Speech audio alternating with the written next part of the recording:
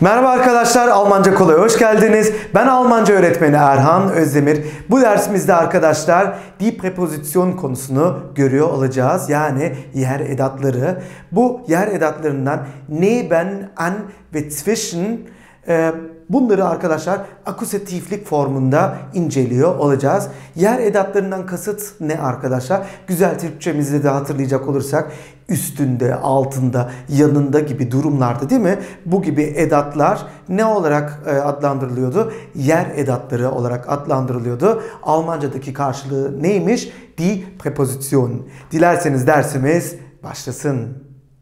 İlk prepozisyon yani yer edatı olan neben ile başlayalım arkadaşlar. Neben zaten çizimden de anlaşılacağı üzere yanında demek. Demek ki neben yanında demekmiş.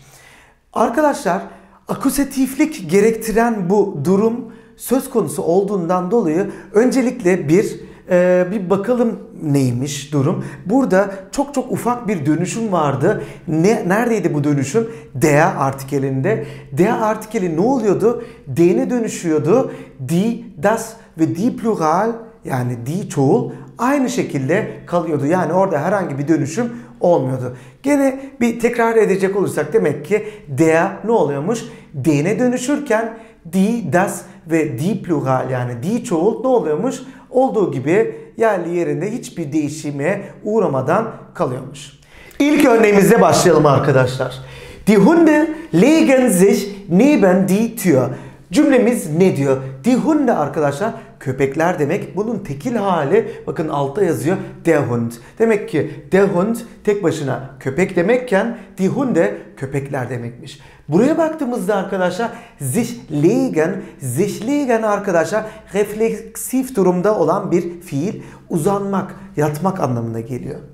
Demek ki sich legen köpek ne yapmış? Uzanmış, yatmış anlamında. Neyi ben ditiyor? Ditiyor arkadaşlar kapı demek. Kapının yanına ne yapmış? Uzanmış. Kim uzanmış? Köpek uzanmış. Dolayısıyla bakın burada neyi ben ditiyor demek ki neymiş arkadaşlar? Kapının yanında anlamına geliyormuş. Ee, akusatiflikte di dönüşüme uğrar mıydı? Hayır. Di olduğu gibi kalırdı. Di olarak kalırdı. Dolayısıyla neyi ben ditiyor? Kapının yanında değil mi? Dolayısıyla köpek e, ne yapıyor? Kapının yanında yatıyor, uzanıyor e, derken ne diyecekmişiz? Die Hunde legen sich, düzeltiyorum, die Hunde köpekler değil mi? Die Hunde legen sich neben die Tür, köpekler ne yapıyor? Kapının yanında uzanıyor, yatıyor anlamına gelmiş oluyor. Sonraki cümleye bakalım arkadaşlar. Burada ne dedik? Der Hund köpek demekti değil mi? Bakın burada çekimlenmiş olarak karşımıza çıkıyor. Legt sich ancak yukarıda neydi çoğul olduğundan dolayı legen şeklinde yorumlanıyordu. Ancak burada çekimleyeceğimizden dolayı ne olacak? Der Hund legt sich şeklinde yorumlanması gerekiyor. Evet bakın burada mavi ile işaretlenmiş. Mavi zaten uluslararası renk kodları dahilinde neydi? Der artikeliydi. Die neydi? Kırmızı, das yeşil. Die çoğulda zaten di plural sarı di olarak gösteriliyordu. Bunu zaten biliyoruz değil mi? Ee, ama gene de bir hatırlatmakta fayda var. Bakın burada ne olmuş arkadaşlar? Wohin sorusunun yanıtı olan değil mi? Ee, nereye doğru değil mi? Nereye doğru denildiğinden dolayı akusatifi gerektiriyor. Peki akusatiflikte der neye dönüşüyordu? D'ne dönüşüyordu. Der Tisch masa masanın yanına Dolayısıyla der Hund legt sich neben den Tisch. Köpek ne yapıyor? Masanın yanına uzanıyor demiş oluyorum. Bakın arkadaşlar buradaki e, kilit soru wohin. Dolayısıyla ben bir cümleyi incelerken mutlaka sorusunu sormam lazım. Bu cümlenin gidişatı, ee, acaba wohin'in cevabını mı gerektiriyor yoksa wo sorusunun cevabını mı gerektiriyor? Ona göre ben ne yapacağım? Ha akusatifse bu wohin ile örtüşüyor. Dolayısıyla değer ne olacak? D'ne dönüşecek. Peki datif olduğunda onu da zaten ayrıntılı bir şekilde anlatmıştık. O ilgili ders videosunu mutlaka izleyin. Oradaki dönüşümleri gerektiriyor. Dolayısıyla mutlaka böyle ikileme düştüğümüzde hiç böyle kendimizi e, şey yapmayalım, zorlamayalım. Sadece sorusunu soralım. Acaba bu cümlenin sorusu hangi sorunun yanıtı olabilir? Wohin mi? Wo mu? Ya da başka başka sorular mı? Tabii o zaman ne oluyor? Farklı e, durumları gerektiriyor. Ancak akusatifin sorusu wohinmiş. Dolayısıyla e, köpek nereye doğru yatıyor? Masanın yanına değil mi? Dolayısıyla der Hund legt sich neben den Tisch sorusu olsaydı ne olacaktı? Wohin legt sich der Hund olacaktı değil mi? Tıpkı yukarıda olduğu gibi die Hunde legen sich neben die Tür. Nereye e, uzanıyorlar, yatıyorlar derken birinci cümlede ne olacaktı bu? Wohin legen sich die Hunde olacaktı. Cevabı die Hunde legen sich neben die Tür. Buraya baktığımızda da wohin legt sich der Hund çünkü bir tane köpekten bahsediyorum değil mi? Dolayısıyla der Hund legt sich neben den Tisch masanın yanına yatıyor demiş oluyoruz. Sonraki cümleye bakalım arkadaşlar. Die Katze legt sich neben das Fenster. Die Katze neydi arkadaşlar? Kediydi değil mi? Das Fenster neydi? Pencere demekti. Sich değil mi? Bakın aynı şekilde burada da tekil olduğundan dolayı legt diye çekimlenmiş oluyor. Dolayısıyla kedi ne yapıyor? Pencerenin yanında ne yapıyor? Uzanıyor derken die Katze legt sich neben das Fenster demem gerekiyor. Bakın buradaki das aynı şekilde kalıyor das'ta. Akusatiflikte herhangi bir dönüşüm yoktu. Öyle değil mi? Dolayısıyla neben das Fenster olarak kalmayı gerektiriyor. Ancak bunun sorusu ne? Wohin? Dolayısıyla bunun sorusunu soracak olursak ne olur? Wohin legt sich die Katze? Değil mi? Kedi nereye uzanıyor? Değil mi? Wohin legt sich die Katze? Die Katze legt sich neben das Fenster. Kedi ne yapıyor? Pencerenin yanına uzanıyor demiş oluyoruz. Sonraki cümleye bakalım. Die Katze bakın burada tekilken die Katzen çıkmış karşımıza. Yani kediler. Bakın dolayısıyla çoğul olacak değil mi? Üçüncü çoğulda ne olacak? Legen şeklinde yorumlanacak. Dolayısıyla die Kleider, das Kleid neydi? Elbise. Die Kleider, elbiseler, kıyafetler anlamına gelen die Kleider. Ne yapıyor? Kediler kıyafetlerin yanına yatıyorlar ya da uzanıyorlar anlamında. Legen sich değil mi? Ne oluyormuş? Die Katzen legen sich neben die Kleider. Bakın arkadaşlar burada da die pluralda herhangi bir dönüşüm olmuyordu değil mi arkadaşlar? Akusatifte die, die olarak kalıyordu. Dolayısıyla herhangi bir dönüşüm olmadığından neben die Kleider şeklinde yorumlamam gerekiyor. Peki bunun sorusunu soracak olursak kediler nereye yatıyor, nereye uzanıyor sorusu wohin legen sich die Katzen? Demek ki kediler nereye uzanıyor derken wohin legen sich die Katzen sorusunu sormam gerekiyor. Cevabı neymiş? Die Katzen legen sich neben die Kleider. Kediler kıyafetlerin yanına yatıyorlar demiş oluyorum. Dilerseniz bu cümleleri doğru telaffuzlarıyla tekrarlayalım. Die Hunde legen sich neben die Tür. Die Hunde legen sich neben die Tür. Der Hund legt sich neben den Tisch. Der Hund legt sich neben den Tisch. Die Katze legt sich neben das Fenster. Die Katze legt sich neben das Fenster. Die Katzen legen sich neben die Kleider. Die Katzen legen sich neben die Kleider. Sıradaki prepozisyona bakalım şimdi arkadaşlar. Sıradaki prepozisyon da an. Bakın az önce neyi beni görmüştük? Neyi ben neydi? Yanında demekken an neymiş? Eşiğinde, yanı başında anlamında bakın arkadaşlar. Hemen yanı başında anlamına gelmiş oluyor. İlk cümlemize bir bakalım. Die Hunde legen sich an die Tür. Evet, köpekler nereye uzanıyorlar? An die Tür.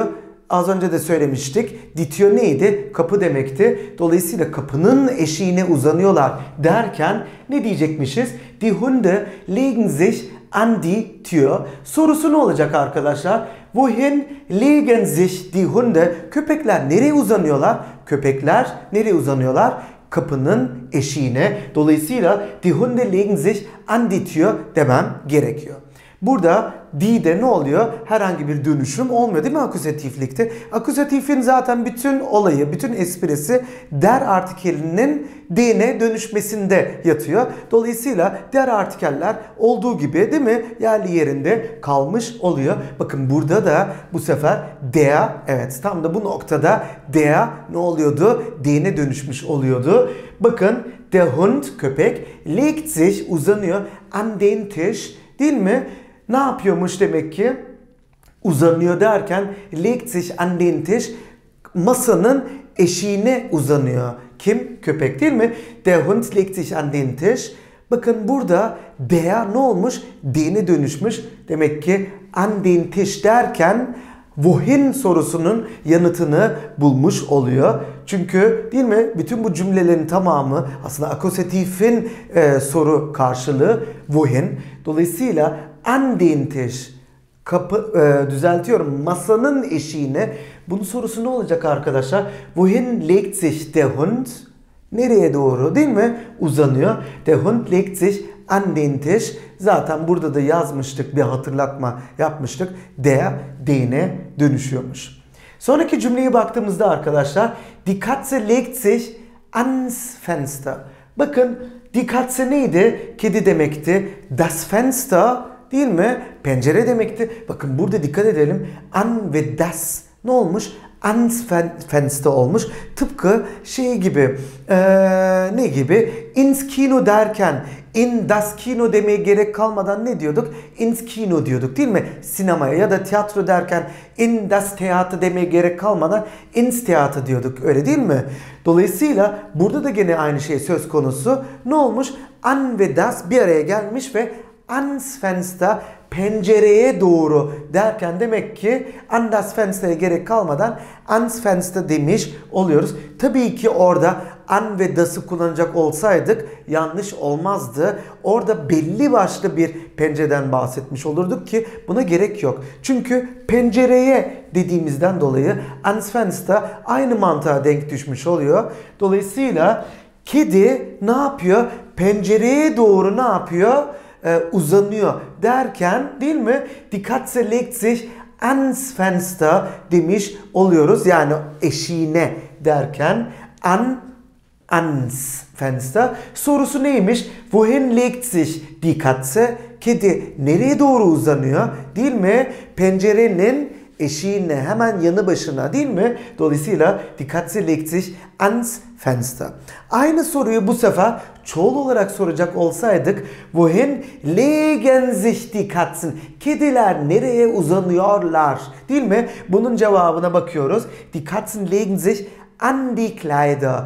Evet az önce söylemiştik. Die neydi? Kıyafetler demekti. Ee, ya da das Kleid değil mi? Elbise, kıyafet, giyim anlamında. Die değil mi? Giyim anlamına gelmiş oluyor. Dolayısıyla kediler kıyafetlere değil mi? Onların hemen yanı başına, onların eşiğine e, anlamına gelmiş oluyor. Die Katzen legen sich an die Kleider demiş oluyoruz. Bakın burada da değil mi? E, tıpkı e, de, e, dide olduğu gibi, das'ta olduğu gibi çoğulda yani di pluralda dönüşüm olmuyor. Burada dikkat edilmesi gereken şey tekrar hatırlatıyorum neymiş? Der artikelinin d'ne dönüşüyor oluşu çok çok önemli. Artı ne yapıyorum arkadaşlar? Bir cümleyi okuduğumda tekrar hatırlatmakta fayda var. Ne yapacağım? Bu şimdi akusatif mi, datif mi? Datif ise wo sorusudur. Akusatif ise nedir? Wohin sorusudur. Bunların bariz bir şekilde wohin sorusu olduklarından dolayı, wohin sorusunun yanıtı olduklarından dolayı ne yapacağım? Akusatifi işin içerisine sokmuş olacağım değil mi? Dilerseniz bu öğrenmiş olduklarımızı doğru telaffuzuyla tekrarlayalım. Die Hunde legen sich an die Tür. Die Hunde legen sich an die Tür. Der Hund legt sich an den Tisch. Der Hund legt sich an den Tisch. Die Katze legt sich ans Fenster. Die Katze legt sich ans Fenster. Die Katzen legen sich an die Kleider. Die Katzen legen sich an die Kleider. Sıra geldi zwischen yer edatına. Zwischen ne demek arkadaşlar? Burada görüldüğü üzere arasında ancak biz tabi e, arasında derken burada bir yönelim olduğundan yani wohin sorusunun karşılığı arasına değil mi? Oraya doğru demem gerekiyor. Ee, örnek cümlemize bir bakalım ne diyor? Die Katze legt sich zwischen das Bett und den Stuhl. Yani ne diyor arkadaşlar? Die Katze, kedi sich legen uzanmak demekti değil mi? Zwischen arasına. Neyin arasına uzanıyormuş? Das Bett. Bakın das, das şeklinde kalıyorken der ne oluyor? D'ne dönüşüyor. Akusatif dolayısıyla değil mi? D'ne dönüşmüş oluyor. Die Katze legt sich zwischen das Bett und den Stuhl. Demek ki kedi yata, yatağın ve sandalyenin arasına uzanıyor değil mi? Orada bir yönelim var, bir aksiyon, bir hareket var. Dolayısıyla wohin nereye değil mi? Nereye sorusunu soracak olursa wohin legt sich die Katze? Kedi nereye doğru uzanıyor? Kedi ne yapıyor? Yatağın ve sandalyenin arasına uzanıyor derken die Katze legt sich zwischen das Bett und den Stuhl demem gerekiyor. Bakın burada arkadaşlar die Katze'yi işaretlemedim kırmızıyla. Neden? Çünkü burada etki alanı değil mi? Zwischen'den sonraki artikelleri etkilediğinden dolayı. Dolayısıyla das Bett etkileniyor. Ancak das Bett herhangi bir dönüşüm olmuyor. Bu şekilde kalıyor. Ancak der ne oluyor? D'ne dönüşüyor. Bu işaretlemeler demek ki akusatifin hissedildiği noktalar. Ancak die Katze bunun yerine başka bir şey de olabilirdi değil mi? Der Hund olabilirdi, das e, herhangi bir şey olabilirdi. Ancak etki alanı zwischen'den hemen sonra olduğu için tıpkı diğer tıpkı diğer yer edatlarında olduğu gibi değil mi? Sonraki e, cümleye bir bakalım arkadaşlar. Bakın gene bir hareketlilik var. Dolayısıyla değil mi bir yönelim var. Ich hänge die Krawatte zwischen die Tür und den Schrank. Tabii arkadaşlar bu cümleleri bulurken e, bu cümleler bana ait böyle aralarda havada kalan biraz belki de tuhaf gelebilecek yapılar olabilir. Ancak bu yapıları kullanıyor olmamızdaki sebep e, bu gramer yapılarının iyice oturmasını sağlamak maksatlı. Yoksa gayet basit e, cümlelerde kurabilirdik. Ancak burada biraz komplike ya da e, hafızanızın biraz zorlandığı noktalarda olabilir. Tıpkı burada olduğu gibi. Ne diyor? Ich hänge die Krawatte. Evet kravatı nereye asıyorum? Zwischen die Tür. Kapıyla nerenin arasında? Und den Schrank evet biraz tuhaf geliyor olabilir ama dediğim gibi e, gramer yapısına odaklanmakta fayda var arkadaşlar. Demek ki kravatı nereye asıyorum? Zwischen die Tür, kapı und den Schrank. Kapının ve dolabın arasına asıyorum derken bakın ne etkilenmiş burada. Tür normal bir şekilde kalırken der ne olmuş? Den dönüşmüş. Neden arkadaşlar? Çünkü bu soru e, bu cümlenin sorusu ne olacak? Wohin sorusu olacak. Dolayısıyla ben ne diyeceğim? Sen kravatı nereye asıyorsun diye soralım. Wohin hängst du die Krawatte? Değil mi? Wohin hängst du die Krawatte? Kravatı nereye asıyorsun? Değil mi? Ich hänge die Krawatte zwischen die Tür und den Schrank. Kapının ve dolabın arasına asıyorum demiş oluyoruz. Evet biraz tuhaf geliyor olabilir belki ama neden olmasın değil mi? Neden olmasın? Bir sonraki cümleyi bakalım şimdi arkadaşlar. Ne diyor bu cümle? Der Hund legt sich zwischen die Kinder. Evet.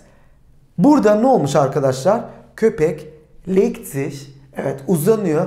Zwischen neydi arasında demekti değil mi? Arasına oraya doğru die Kinder çocukların arasına yatıyor derken e, ne olacak demek ki diplural olan bir şekilde kalacak değil mi? Ben soru olarak ne diyeceğim?